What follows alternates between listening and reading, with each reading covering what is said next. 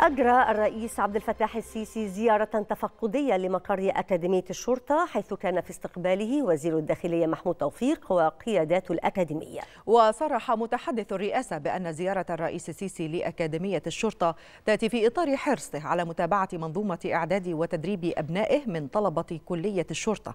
واستهل الرئيس السيسي الزيارة بمشاهدة اصطفاف الطلبة والطالبات الجدد بأرض العروض بالكلية حيث ألقى الرئيس السيسي كلمة لتهنئة الطلبة على الالتحاق بالكلية ونيل شرف الانضمام إلى هيئة الشرطة التي يسهر رجالها على حماية أمن الوطن والمواطن.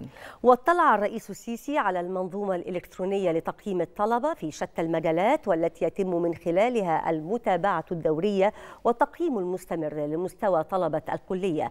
وتوجه لتفقد ميدان التحدي والقوة البدنية ومشاهدة الطلبة والطالبات أثناء أدائهم لتدريبات اللياقة البدنية المتنوعة والتي أظهر الطلبة والطالبات خلالها المستوى المتميز الذي وصلوا إليه. كما قام الرئيس السيسي أيضا بتفقد حمام السباحة الأولمبي بالكلية. وشاهد الطلبة أثناء أداء قفزة الثقة ثم توجه إلى مجمع ميادين التدريب القتالي حيث يتم تدريب طلبة وطالبات الكلية على أعمال الاقتحام والقتال التكتيكي. وشاهد الرئيس السيسي من داخل مركز التحكم والسيطرة عرضا تقديميا عن الميادين التدريبية المختلفة بالمجمع.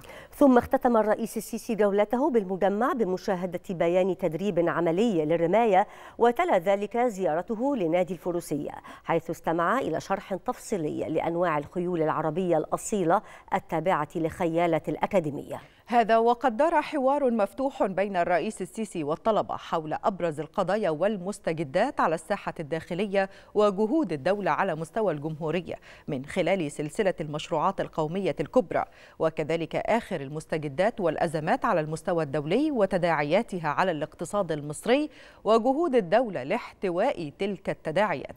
وفي ختام الزيارة التفقدية توجه الرئيس السيسي إلى مقر زيارة أولياء أمور الطلبة والطالبات الجدد حيث ألقى كلمة بهذه المناسبة متقدما بالتهنئة والشكر لهم على تقديم أبنائهم للالتحاق بهيئة الشرطة حيث يتم إعدادهم وتأهيلهم ليكونوا حماة أمن مصر في المستقبل القريب مع زملائهم من رجال القوات المسلحة البواسل.